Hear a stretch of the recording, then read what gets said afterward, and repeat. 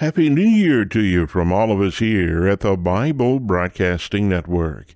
And as we begin a brand new year, our good news memory verse for the week is Matthew 6, verse 33.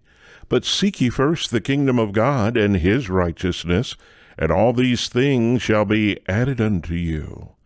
That's Matthew 6, verse 33, our good news memory verse as we start out 2023.